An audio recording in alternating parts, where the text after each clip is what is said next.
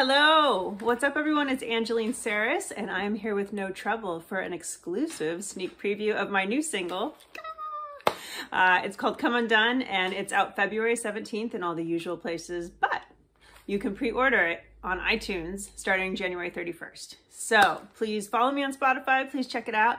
And I'm gonna play a little bit of the bass line for you right now uh, so you can hear.